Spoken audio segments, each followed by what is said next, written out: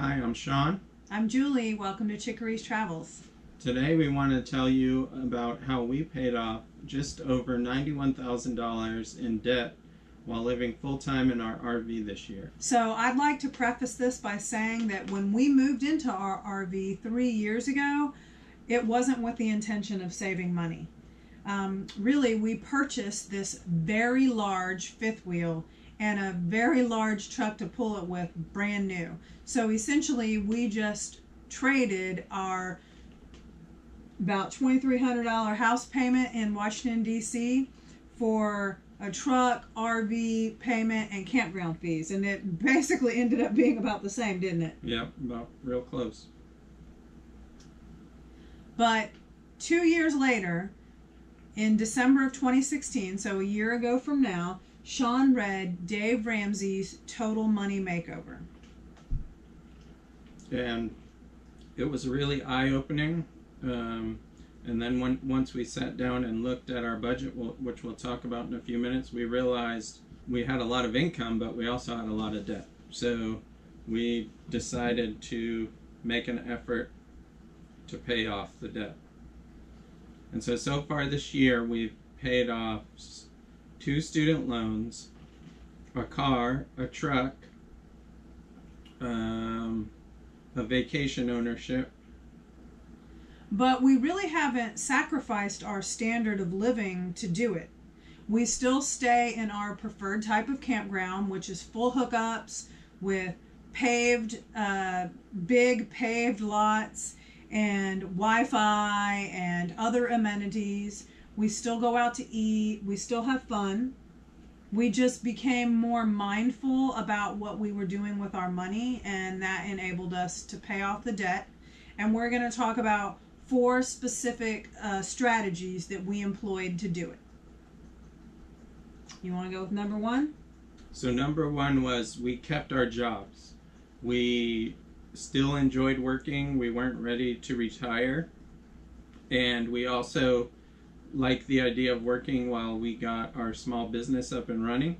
So, we convinced our employers to let us work remotely, which was really just having a conversation and then demonstrating how you can still be productive in your position while living away from the office.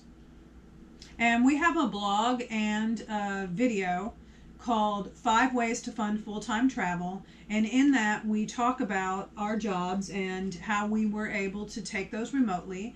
We also talk about um, how other full time RVers that we know are able to earn an income. And then we also talk about how we are just starting to make additional income, and that is through our business Chickery's Travels. And like I said, that's just starting. I think is it this month that we have our first real yep. income? Yep. Yeah. And we didn't have to sacrifice seeing places we wanted to see, even though we were still working. We just made time on our days off and on our off hours to go do what we wanted to do and see what we wanted to see. So it really didn't um, cause any sacrifice by working and seeing the country like we wanted to. And one of the benefits for us of maintaining that uh, traditional type of employment, although it's remote, it's, you know, we're still employees, not just entrepreneurs. That's what we're starting with our business. But also being employees for our companies, and it's two different companies. But the benefit of that is that you get to keep your benefits. So things like uh, retirement investment, like 401ks, health insurance, things like that. Those are some of the pros to maintaining more traditional employment um, while you're on the road. So, number two is we sold stuff. So when we first started um, full time RVing three years ago, we downsized from about I think it was 2,400 square foot house, and we had uh, raised three sons, and so they had moved out. But you know how it is; a lot of their stuff had stayed behind, and we I felt like I did a lot of downsizing, but we still ended up with two very large storage units and we kept those for two years. And after two years, when we, like I said, we made this goal of getting debt free, we reevaluated that and said, you know, what really matters to us. And so we went through our stuff and we sold a whole lot of it. I think, I mean, it was, well, it was definitely more than half because we don't just have one storage unit, we have one small storage unit and we had two large. So we we got rid of probably 70% of it. And some of it we had to give away because we couldn't sell it, but we did sell quite a bit. And then we also we have a toy hauler that we've talked about in other videos and that one of the reasons why was because we had a Harley Tri-Glide, which is a trike, and we really weren't riding it very much. Uh, Sean has had a couple of back surgeries, and it just wasn't very comfortable anymore, and so we sold that too. And we sold a second car that we had, got rid of that, and Yep. um, used that money towards the debt. Yeah, we were hanging on to it because you know we weren't sure how long we were going to do this for, and and then we were like, well, let's sell it now and use that money to pay off the debt, and then when we decide that we don't want to full time RV anymore and we might have a need for a car, then we can buy a small used car cash. Yeah. Number three. Number three, we budget every dollar that comes into our bank account. We assign it to one of our budgeted categories. And um, before any money is spent, we make sure that we have zero dollars hanging out there that are not assigned to a category. So our budget, your budget is never going to be right the first time.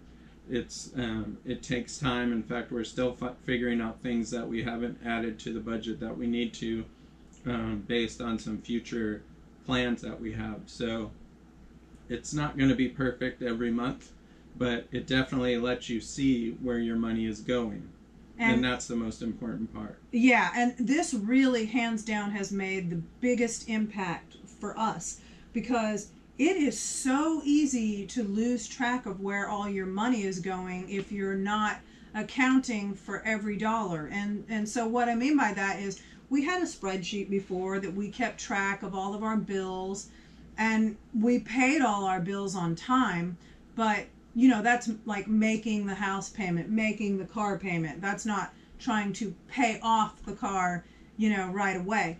Um, so all the extra money after we made all those payments, it was kind of just like go on vacation here. The boys need something for school there. Go out to eat. Go to Starbucks. Whatever. Now we haven't stopped going out to eat, but we have set a goal. We have said we are going to allow ourselves this amount of money to go out to eat this month. And once we hit that limit, we don't go out to eat anymore. And we don't feel like it's a sacrifice because we set that goal. We decided what was important to us. And it was more important to us to pay off debt. And some people might even set zero for going out to eat. But that's the beauty of, of setting that budget is that you get to decide. And we still wanted to go out to eat sometimes. Uh, special occasions or places that we really like if we're traveling to an area and there's places that are famous there. Um, whenever we go somewhere new, we like to look up that what's it called, diners, dives, Uh, diners, drive-ins, and dives. And see if there's something in the area for that. You know, so we still allow ourselves that in the budget, and we call it an every dollar budget because we use an app, and it's called Every Dollar. It's a free app. It's a free app, and there there is a, a premium like upgrade, and I don't even know what it does because we haven't needed it. We have just used the free one, and you put in all of your income, and then you put every line item. So we have a blog post that we wrote called "How much does it cost to full time RV?" And in that blog post, we actually share with you our budget. So, like I said, you get to set your own budget, but the purpose of the blog post was to talk about some options and make sure that you're considering all the different things that might go into an every dollar budget. So, for example, obviously we're counting campground fees because, like we said, we like to stay in full hookup campgrounds. Um, we have a line item for groceries, for eating out, those things that, yeah, those things that you would commonly think of. But since we're accounting for every dollar now, we also have included there other things that we before didn't budget for, we just kind of spent willy nilly. So, for example, we have a vacation fund, and we put a specific amount into that vacation fund every month, and then that way, when we want to go on vacation, like we just recently went to Las Vegas for two weeks, that's where the money comes from. And when there's no more money in there, we don't go on vacation until we've built it back up. We also have an emergency fund that covers, is it six months? Three months. Three months of um, our expenses. And if we have to use some of that emergency fund, like we did last year when we had to evacuate Florida because of Hurricane Irma, then we're going to replenish that before we do anything else. So the most important thing about to know about the budget is that we don't feel like it's about sacrificing. We feel like it's more about prioritizing. I heard a quote that I thought was really great, and it is, "You can afford anything, just not everything." So you decide what it is that you want to spend your money on. For us, we're doing something called a debt snowball because we're following Dave Ramsey's baby steps in um, from his book Total Money Makeover that we already talked about, and that means that after we've gone through all those other line items on our budget, everything that's less left goes towards debt. And when we get extra income, like I said, this month we made money from our blog, uh, from or not just our blog, from our business because it's a blog, a podcast, a YouTube channel, and now two books. And we have started to make money from that. That extra money, it wasn't like, hey, we got extra money. Before, that's what we would have done. Hey, we got extra money. Where can we go? What can we do? Or Sean got a bonus from his work um, this month. And before we would have been like, let's go to Europe. but uh, instead, it's debt snowball. And number four is we have developed some strategies for saving money while we're traveling full time. For example, for us, slowing down saves money. It saves money on campgrounds because, as I mentioned, we like full hookup campgrounds. So those typically have monthly rates. So if we slow down and don't travel as often, we can take advantage of those monthly rates. It also saves on gas. And since we're working, it gives us more time to really enjoy an area anyway. Also, we just chose not to buy things using credit anymore, so we don't have to pay interest. So we save up the money and then pay cash for what we want, and then it saves you tons of money in interest that you would have to pay otherwise. So I have a lot of other strategies that we use for saving money in a blog post on our website called Seven Ways to Save on Full Time RV Travel. There's also a video in there that specifically talks about ways to save on campgrounds. And in that article, I list um, all of the different strategies that I employ right now to help save money. You done? Mhm. The the only debt we have left now to pay off is the RV, which um, we learned a lesson on buying that, and um, the the way we will purchase an RV in the future is quite different than the way we purchased this one. And I think there's um, a blog post and a video on our three biggest regrets, in which we talk about um, the purchase of this RV. So once we get that paid off, we'll be hopefully at the by the end of 2018 we'll have that Yep. paid for, and then we'll be debt free, and then we'll be able to um, have a lot more income to spend on everything we want to do instead of paying back all of the debt that we have accrued over the years. Yeah, and actually, though, I mean, like I said, I don't feel like that we've sacrificed.